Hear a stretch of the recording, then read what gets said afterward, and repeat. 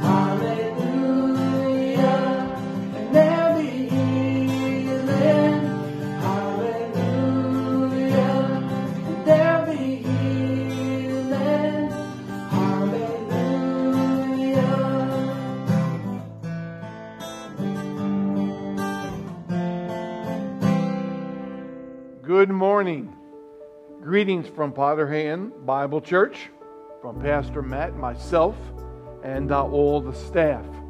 I trust this morning that uh, you are finding your peace and contentment during this time uh, in this pandemic uh, in our Lord and Savior Jesus Christ.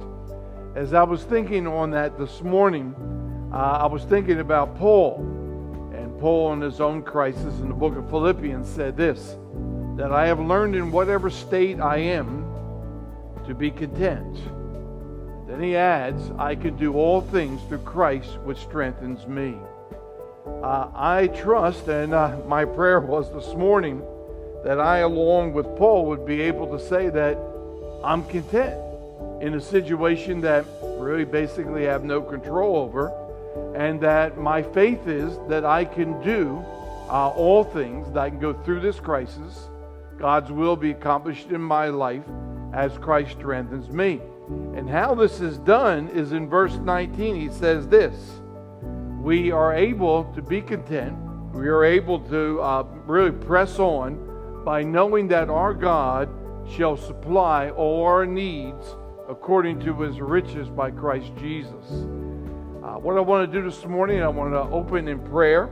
And then when I'm done praying, we'll take about a minute that you would have a quiet time yourself and uh, ask God to minister to your heart, that you would be able to receive His word, and that God uh, again would uh, draw close to you, and His word would give you that comfort, that truly that His grace will supply all your need. Let us pray. Dear Heavenly Father, I thank you this morning, dear Lord, that even at times where we have no control, times where we are weak, having no strength, that we have an all powerful God who is omnipotent and in control of all things. And I thank you this morning, dear Lord, that as your child, that you supply by your grace all of our needs, that we are able to face whatever trials come our way. So, my prayer this morning, dear Lord, is not only for myself and my family but for each family, each individual that's listening this morning. Dear Lord, that you would strengthen, that you would empower. Dear Heavenly Father, that you would embolden, and that you, dear Heavenly Father, would enlighten us and encourage us by your word, that you will supply all of our needs. I pray, dear Lord, that you bless your word this morning. Dear Lord, may it uh, really pierce each of our hearts that um, as we face, dear Lord, today and the days that would follow, that truly, dear Lord, we would be able to say that when I am weak, I am strong because my faith is in my God. For we ask this in Jesus' most precious name. Amen.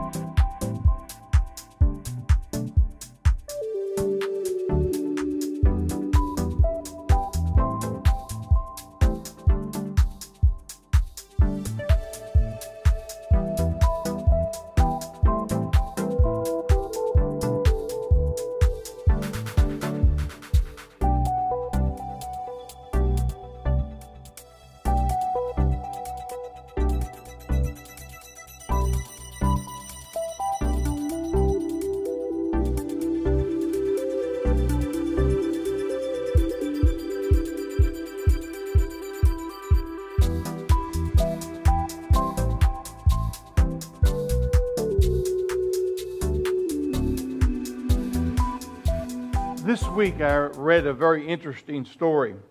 The story was about a 10 year old boy who decided to study judo, despite the fact that he had lost his left arm uh, in a devastating uh, auto accident. The boy began uh, lessons with the judo master sensei, and the boy was doing well.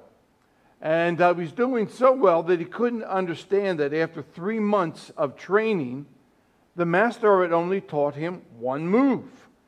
And he went to the sensei and he asked this question Shouldn't I be learning more moves uh, by now? And um, the sensei came back to him and he said this This is the only move really that you know, and it's the only move that you're ever going to know. Not quite understanding this, the little boy um, just chose to believe his teacher and kept on training. Well, several months passed, and sensei took the boy to his first tournament. And surprising himself, the boy easily won the first two matches. Now, the third match, a little more difficult, but after some time, his opponent became impatient with him and charged. And the boy used, all right, that one move to win the match. Still amazed by his success, the boy's now, he's in the finals. And this time the opponent was bigger, he was stronger, he was more experienced. And for a while, the boy seemed like he was overmatched. And concerned that the boy might get hurt, the referee called a timeout. And he was about ready to stop the match when the sensei uh, intervened. And the sensei insisted, let him continue. Let the match go on. And soon after that, the match resumed. And his opponent made a critical mistake. He dropped his guard. And instantly, that boy used that one move that he knew to pin his opponent. And the boy won the match and won the tournament. He was the champion. On the way home, uh, the sensei reviewed every move in each of those matches that his opponents had done. And uh, then uh, the boy summoned up the courage to ask the question that was on his mind. He says, Sensei, how in the world did I win that tournament with only knowing one move? And the sensei came back to him and he said this you won, all right, for two reasons. First, you almost mastered one of the most difficult throws in all judo. And second, the only known defense to that move is for your opponent to grab your left arm. The boy's weakness ended up being his strength. I tell you that because this morning, I know we've heard a lot of messages on being encouraged and so forth, but this morning I want to talk about, in the midst of our weakness, finding the strength that we need in the days that we are in. And I entitled the message, Let the Weak Say That I Am Strong. I want to tell you another story. Years ago, a group of five Washington, D.C. area pastors called on the then President uh, Truman during the Korean conflict. They had been preaching on Isaiah 2 4, probably a familiar verse. It says that verse, they shall beat their swords into plowshares and their spears into pruning hooks. Nation shall not rise up against nation or take sword against nation, neither shall they learn war anymore. Well, of course, they were anti war, and they were there to press their point with President Truman. Now, Truman, if you understand it, was going to make his point also and was going to make his case for the Korean conflict. And he ended up saying, Why don't you preachers ever preach all the Bible? And then he turned to Joel 3:10. Now here's a verse that most people don't know. Joel 3:10 says this: Beat your plows and your pruning hooks into spears and let the weak say that I am strong. See, the pastor's passage that they use in Isaiah 2:4 talks about God's rule on earth when Christ himself will rule and reign from Jerusalem, and there'll be peace over this globe. But Joel 3:10, the verse that Truman quoted to those men, talks of the rage of Israel's enemies against God's people before Christ returned to earth, before he established his kingdom. And Joel is talking about so universal will be the hatred, so universal will be the rage that the weakest will fancy themselves strong enough to invade Israel and to come against God's people. That verse says they will forge weapons, they will seek after weapons for that warfare, but they will only perish in the attack. But that phrase at the end of that verse, let the weak say that I am strong, can be applied to our Christian lives. And I have used this verse, and I've heard this verse or this phrase used many times by pastors and other believers. Now, Paul, the Apostle Paul, refers to this truth in the New Testament in 2 Corinthians chapter 12, verse 10. Most of us, or many of us, are familiar with this famous passage. Uh, this is dealing with Paul's thorn or affliction in the flesh and how he prayed three times for God to remove it, and that God chose not to, and proclaimed to the Apostle Paul that his weakness would be turned into his strength as he relied upon the grace of God. But you find these words in verse 10. Paul says this Therefore I take pleasure in infirmities, in reproaches, in needs in distresses for Christ's sake. For when I am weak, then I am strong. The same phrase, the same principle that you find in Joel concerning the enemies of God is the principle that Paul proclaims here in the New Testament. Now, thinking about this this week, I'm going to give you three challenges. Uh, challenges that uh, really I've given myself that I need to heed and three challenges that each of us need to heed uh, that we would be able to have the strength that we are going to need in these days. I, am sure I don't have to remind anyone that we're already in the, uh, the eighth week of the time that we have not been able to meet together. And uh, it is becoming more difficult for many people uh, in the midst of, of this confinement. So let me give you these three challenges, and I pray that you would take them. The first challenge I want to give you this morning is do not be discouraged by your weakness. Do not be discouraged by your weakness. See, our tendency, I believe, when facing times of trial, where we have little or no power to control our circumstances, is to become what? Is to become discouraged and depressed. And this is especially true if the period of time for that trial or series of trials seems to go on and on and on. Now, many of us, we're good, all right, in the short run. If a situation doesn't last too long, we, we can weather it, we can get through it. We can, uh, you know, have the inner strength that we can face whatever we have to face. But when a situation continues on, like the situation that we are in, here's where we get uh, into trouble. Here's where we come to the point that it's easy for us to get discouraged and depressed. Now, how do you keep from falling into that trap? Let me give you two truths that you need to understand. All right, again, the challenge is I cannot allow myself to be discouraged in the midst of my weakness. Truth number one to become tempted uh, in our weakness to give into despair is common to everyone. See, our tendency many times is to think that I'm the only one experiencing this. You know, I'm, I'm, you know, in this weakness, I'm getting discouraged, despair, but others, they're able to get through it. Well, uh, that's not the truth. This temptation is something that we all face, that we all have to deal with many times in our lives. Even the strongest in faith, I don't care how strong your faith is, whether a pastor, whether a Sunday school teacher, an evangelist, whoever we are, no matter how long we've been saved, we're going to have to fight this battle. Let me give you two examples. The first example I want to give you is the great prophet uh, Elijah in 1 Kings chapter 18 and 19. If you have your Bibles, you might turn back there.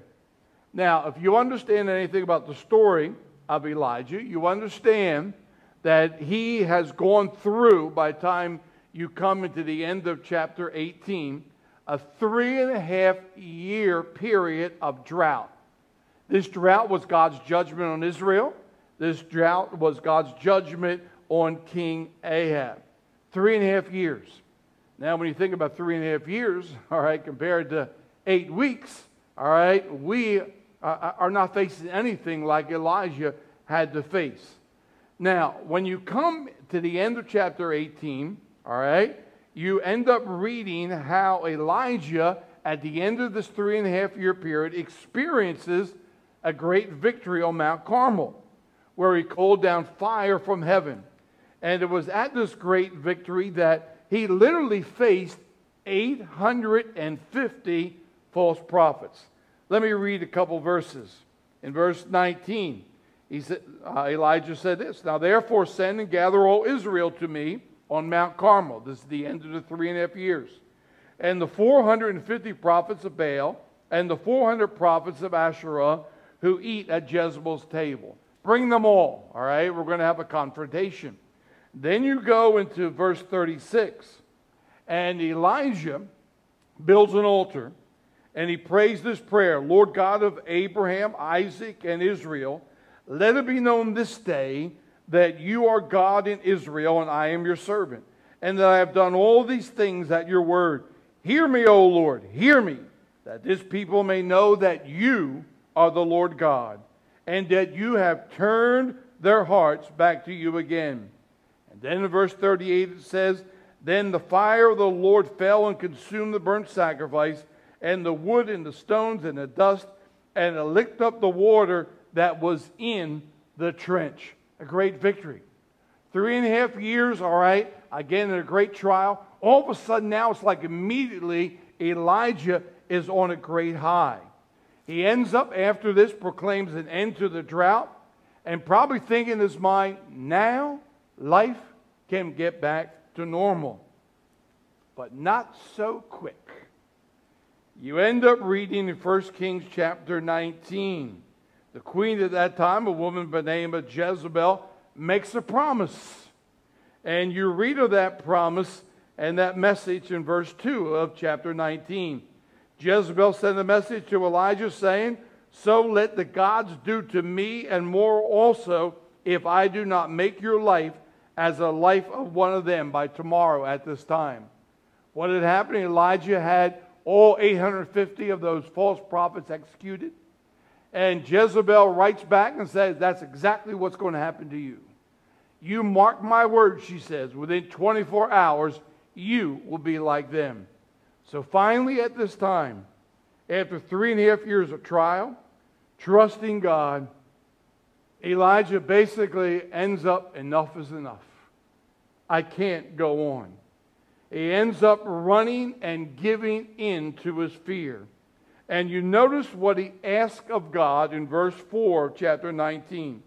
After he runs a day's journey into the wilderness, he sat down under a tree and he prayed that he might what?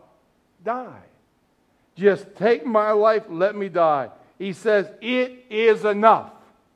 I, I went through three and a half years, all right? I went on that mountain, the great victory, and now I'm in a situation again. It's enough, Lord, take my life, for I am no better than my father's.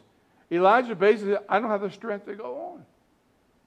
I, I can't go through this again, Lord. So you consider the example Elijah, great prophet of God. Again, faced that temptation. Let me give another example.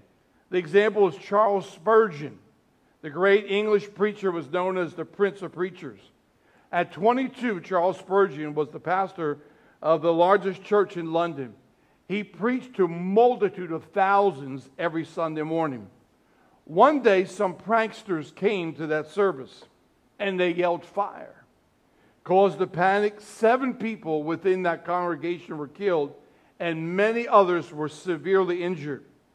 That experience, along with all the pressures of ministry in that large church for a young man, then his family life, caused the beginning of Spurgeon's battle with depression. And as years went on, it became worse. By 33, his health started to fail. Uh, pain was his constant companion. He had kidney disease, he had gout, he had rheumatism, kept him from preaching. He was only able to preach all right, two thirds of the time. One third of the time, physically, he could not preach. So intense was his depression. Let me quote what he said. He said, My soul chooses strangling rather than life. I could readily enough have laid my violent hands upon myself to escape from the misery of my spirit. He literally said, I'm going to take my life. Things are so bad. Now, this is what I tell you. If this could happen to the great prophet Elijah and to the prince of preachers, Charles Spurgeon, do not say this morning, well, that can never happen to me. I've been a Christian long enough. I, will never get to that point. You need to understand we're all tempted in our weakness to become discouraged. But let me give you the second truth. In the midst of our weakness, we can choose, all right, to take pleasure in the trials that God allows to come our way. I had read the verse right, that uh, the Apostle Paul gave us in 2 Timothy chapter 12. And I want to read the beginning of that verse again, where Paul says, Therefore, I choose, I add those words to myself, to take pleasure. Take pleasure in what? I'm going to take pleasure, Paul says, in my infirmities. That literally means his weakness. I'm going to take pleasure in the weakness that I have in my body, the weakness I have in my spirit. I'm going to take pleasure in that. I'm going to take pleasure not only in infirmities, but also, he says, reproaches. Now, reproaches is talking are talking about insults, contempt that he meant as a follower of Christ. Even in this pandemic that we're in, if you post something about relying on God, many times you're going to get somebody's going to come against you and insult and come against your faith. And of course, the Apostle Paul faced reproaches constantly. He says, I am going to take pleasure, all right, in those reproaches when they come. I'm going to take pleasure, he also says, in want. That's talking about needs. Paul says that there's going to be things in my life that I feel I'm going to need, all right, and my back is going to be pressed to the wall, but I'm going to take pleasure in it. And then he says, I'm going to take pleasure in persecution and distress for Christ's sake, talking about suffering. See, what Paul is telling us is that just trying to endure pain and trials is not enough to gain the victory. I just can't say, you know what, in this pandemic, all right, eight weeks, but I can just keep on gutting it out. I have a, I'll have enough inner strength that I can do it. Paul says that's not enough. You might be able to do better than this one or that one, but you will not be able to gain the victory by just trying to endure the pain. We must understand uh, what the Apostle Paul discovered that our faith can not only enable us to bear suffering, it can enable us to rejoice in the midst of that suffering, to be well pleased, as Paul puts it, uh, to be able to smile, if I can say it this way, through our tears in the midst of our weakness. Now, of course, when I read the Bible, immediately I read that and I go, How? How in the world can I do that? You know, after eight weeks in a pandemic and uh, what Paul faced, how in the world can you end up smile? How can you take pleasure in what is going on? And I, I think the key, if you look at this, is to understand I need to see, you need to see, Paul understood he needed to see our trials not as burdens to be endured, but as opportunities. Let me say it again. I need to see my trials not as a burden I have to endure, but as opportunities. Now, you might ask, opportunities for what? Opportunities, number one, to give our Savior glory, making his power and strength known. This week I came across a verse in John 17 4 concerning our Lord Jesus Christ. He was praying his high priestly prayer before he would face the cross, and he said these words I have glorified you on earth. I have lifted up your name. All right, my question again how? And he says these words I have finished the work which you have given me to do. In other words, I stayed the course. I accomplished your will. I will go to the cross. I will pay the price of redemption. And he says, In this way, I glorify you. See, our trials are opportunities that we can show that our faith is genuine, our God is real, and we can give him the glory and honor so richly he deserves. I'm saying, see your situation as an opportunity to give our Savior glory. Also, you need to see it as an opportunity, all right, to gain the favor of Christ.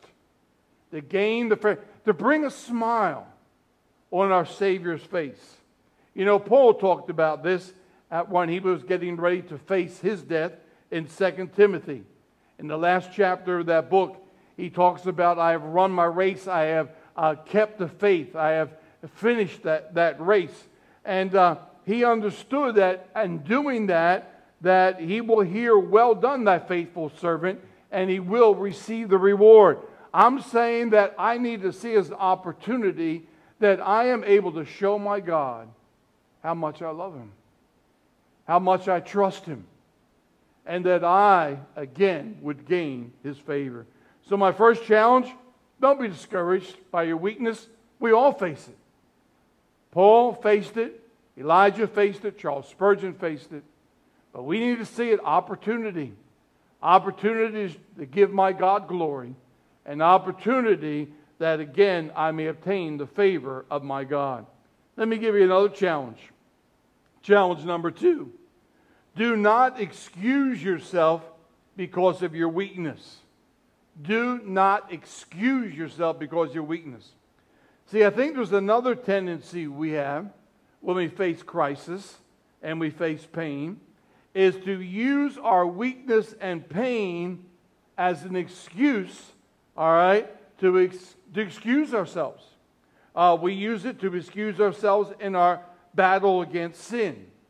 We end up sinning against God, violating His word, and we end up uh, in our minds, we, we excuse ourselves by saying, well, well, God knows my situation.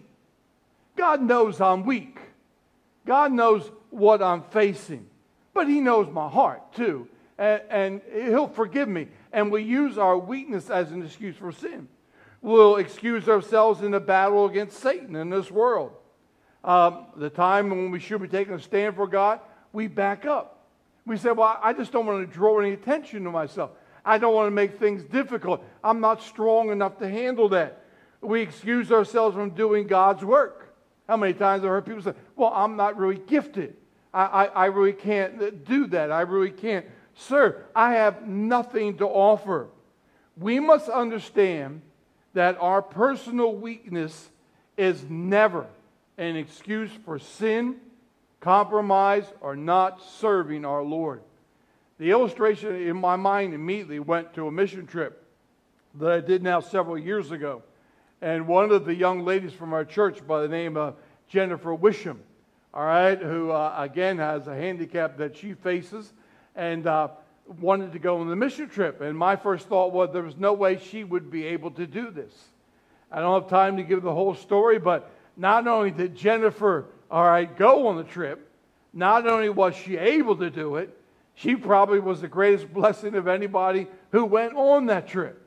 Uh, so many times we look at ourselves and we look at others and we look for the weakness and say, where that's an excuse that God can't use us.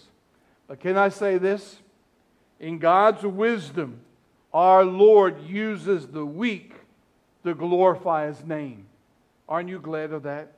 Listen to these verses in 1 Corinthians chapter 1, in starting in verse 27. It says, But God has chosen the foolish things of the world to put to shame the wise. And God has chosen the weak things. Oh, I, I have that circled. He's chosen the weak things of the world to put to shame things that are mighty, and the base things of the world and the things which are despised, God has chosen, and the things which are not, to bring to nothing the things that are, that no flesh should glory in his presence. But of him you are in Christ Jesus, who became for us wisdom from God and righteousness, sanctification, and redemption, that as it is written, He who glories, let him glory in God. Let all glory, all right, be brought to Him. See, the reality for all of us is our flesh is weak. We are all weak. That is why I can't find anywhere in the Bible it tells us to serve in the power of this flesh. Paul's admonition in 2 Corinthians 13 4 is how we are to serve. And this is a verse I, I would just urge you to underline and to uh, read again and to allow God to drive this truth home into your heart. Listen to what Paul says. Again, this is the passage that we've been looking at. All right, the Paul talks about glorying, all right, in his infirmities and reproaches. But he goes on, all right, and in verse 13 he says this For though he was crucified in weakness, talking about Christ, that when you look at the crucifixion, he had the appearance that he was weak. He was crucified in physical weakness. Of course, we understand that no one took his life, but when you looked at him, it looked like he was weak, out of control, and there was nothing he could do. But yet the verse goes on, yet he lives by the power of God. He was not really weak because he had the power to overcome the grave, and now we know has all authority and all power. And that verse goes on, it says, For we also are weak in him. That means we also appear weak just as he did. See, the world would look at us and say, We're nothing. You have no power. There's nothing you can do. But just as he appeared weak and was not, the same truth, all right, applies to us. Because he says at the end of the verse, But we shall live with him. How? By the power of God towards you. Just as Christ appeared weak, but in power he conquered the cross and the grave, we appear weak. We can look at ourselves in the mirror and we see ourselves as weak, but God says you are not weak. God says, by the power of God, you can face uh, whatever comes your way and accomplish my will. That being true, we never have an excuse of turning away from serving Him or living in such a way that pleases Him, no matter how severe the trial or how great our apparent weakness is. So I've given you two challenges. Number one, don't be discouraged by your weakness. Challenge number two, don't excuse yourself, all right, at this time because of your weakness. But let me give you a third challenge strengthen yourself in the midst of weakness. Now, what I want to do in this challenge is look a little bit at Hebrews chapter 11. In Hebrews chapter 11, that's the faith chapter, many uh, believers refer to it as, and it lists the heroes of our faith. And then, as that chapter, all right, is coming to an end, in verse 34, you find this phrase out of weakness were made strong. Out of weakness were made strong. The list of overcomers, all those champions of faith that we find in Hebrews chapter 11, really were all people of what? Weakness. They weren't superheroes. It wasn't that they put on some kind of cape or had all these extraordinary uh, abilities, but in their weakness, they were made strong. And this chapter explains, all right, how they were made strong. They were made strong, in many cases, to experience great victories for God. God empowered them that they would be able to accomplish things that lifted up his name. You read this in verse 32. The writer says, What more shall I say? For the time will fail me to tell of Gideon, of Barak, of Samson, of Jephthah, also of David, Samuel, the prophets, who through faith subdued kingdoms, worked righteousness, obtained promises, stopped the mouths of lions, quenched the violence of fire escaped the edge of sword, out of weakness were made strong, became valiant in battle, turned to flight the armies of the aliens. Women received their dead raised to life again. They received strength to accomplish great victories. This is where many believers stop reading, all right? Hebrews chapter 11. But also it mentions God not only empowered men and women to obtain great victories, but he also empowered men and women and out of their weakness made them strong to endure great trials and great suffering. See, I, I wish I could say that, you know, God's will for all of us is that we would uh, accomplish these great victories, all right? Uh, and that, uh, again, that God would use us in glorifying His name that way. But sometimes God chooses to use us to show the reality of our faith in enduring and going through great trials. He gives us the strength to do this. God gave these men and women strength to bear suffering that to us would be unimaginable. Listen to what it says as he goes on in uh, that chapter. He says, Others were tortured. No victory, they were tortured.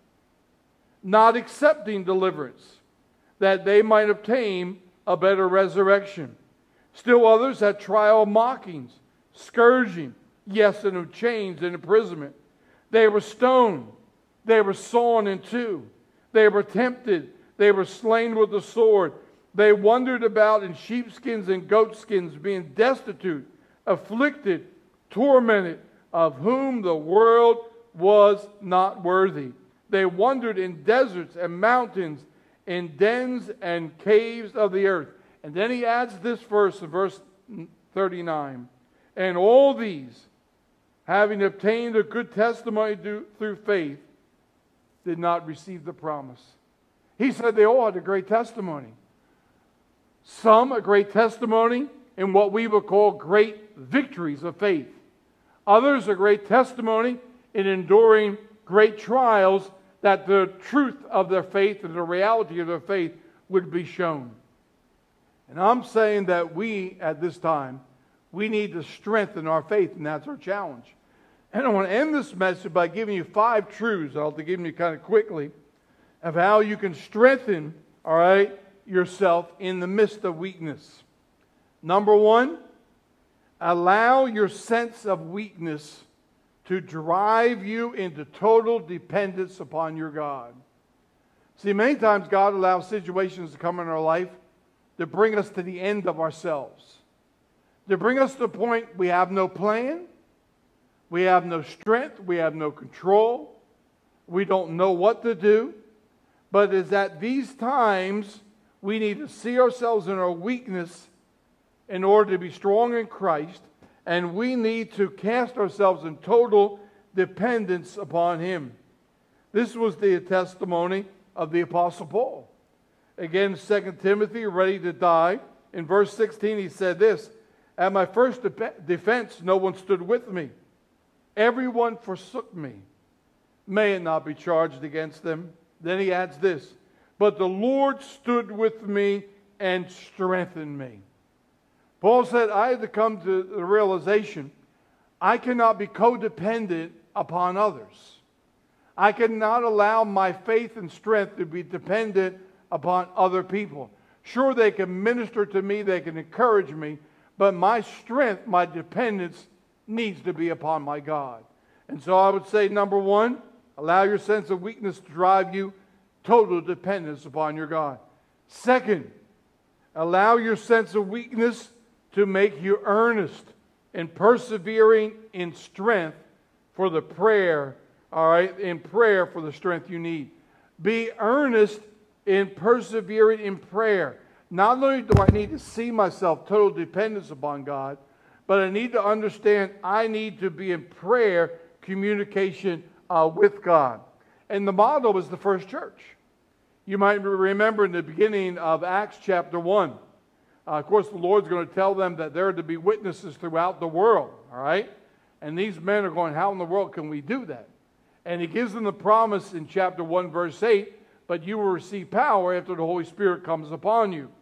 And if you read that chapter, the response of those men and women is they returned to Jerusalem, went to the upper room, and it says they went and they earnestly prayed in supplication praying for the promise that Christ, all right, gave them, that they would receive power. And then you go into Acts chapter 2. What happened? The Holy Spirit came upon them on the day of Pentecost. God's faithfulness to his promise. I'm saying we not only need to see ourselves in dependence upon God, But we need to pray in faith, believing, all right, that God will give us that strength. Number three, allow God's word to provide you the encouragement that you need for that strength. Pastor Matt last week talked about that, gave us the challenge this week to be in the Word of God. We not only need to see our dependence, not only to be praying, but we need to be in God's Word that the Holy Spirit, all right, would encourage us by those truths. Fourth, you need to believe that God will be faithful to those promises. What good is it going to be if I read God's Word? but yet I don't believe he'll be faithful to the promises that I read, the promises that he gives. We need to believe that God will be faithful. I like what Paul says in Philippians 4:19.